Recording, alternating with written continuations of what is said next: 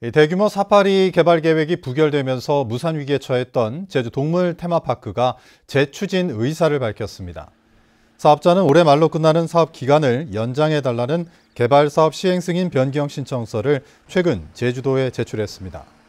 제주도는 이달 말에 열리는 개발 사업 심의위원회에서 사업 기간 연장 여부를 결정합니다.